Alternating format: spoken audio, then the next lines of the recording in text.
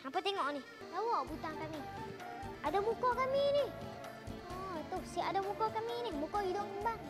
Okey, so tanpa melengahkan lagi masa, hari ini Haziq nak memasak popiah carbonara. Tidak selalunya orang buat popiah carbonara ni dia guna sosis kan. Uh, kita nak ganti sosis tu, kita nak ganti benda yang sangat menarik dan benda yang sangat sedap iaitu lembu perak Pak Mat Western. Eh, payah nak buka dia. Kita guna pisau dah senang cerita no. Tahu tak lembu Pak Mat Western ni macam-macam. Apa boleh nak buat? Apa nak buat inti kari pak boleh. Semua boleh kan. Ha tu. Berlambuk-lambuk. Nak masak dia very very senang eh. Dia tak susah. Masak dia senang. Ke berapa dah kita puasa? Lima hari ikut kan? Ha, alhamdulillah lah hari kelima. Tambah darjah tiga, empat, lima, enam puasa belajar puasa satu hari. Ha, lain daripada darjah satu, enam tu. Mereka tak apa, mereka puasa sekat hari.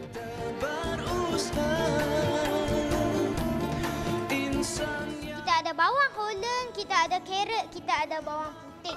Carrot kan benda kerah kan? So kita kena tomeh carrot ni semasa kita tomeh bawang. Ha, ui, dia merasak-rasak gitu.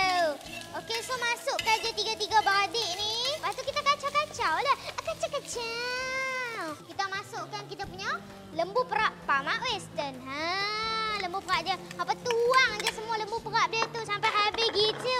Ni kita ada sos prego eh, sos prego carbonara warna putih tu tau. Oh dia, bunyi tu. Itu. Allahumma salli ala sayyidina Muhammad wa ala ali sayyidina Muhammad wa ala alihi wa sahbihi ajma'in.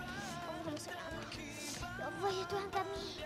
Bila nak buka ni? Okey, so sagi hangit dah pula. Kita masuk ayam, okey? Ayak jangan banyak sangat lah.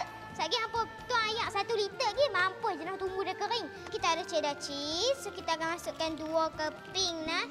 Buang pi dalam tu. Gitu. Black pepper, serbuk lada hitam. Ha.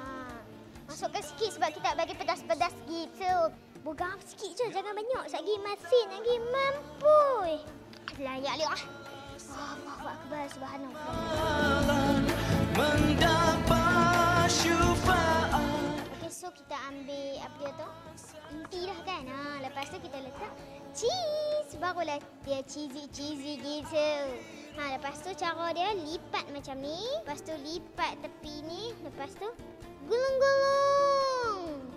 Saya dalam hidup saya ni saya tak minta banyak. Saya nak minta saya bagi jadi orang yang berguna. Orang yang kaya. Lepas tu orang yang boleh baca Quran. Lepas tu nanti bolehlah jejak kaki ke kota Madinah ke kota Mekah.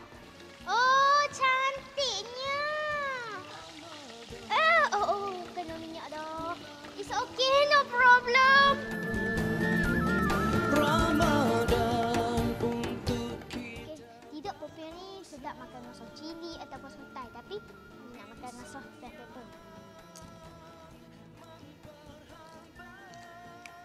Very enak. Crispy gitu weh.